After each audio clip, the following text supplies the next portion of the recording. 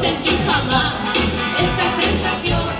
La gente en la calle parece más buena, todo es diferente gracias al amor, la felicidad.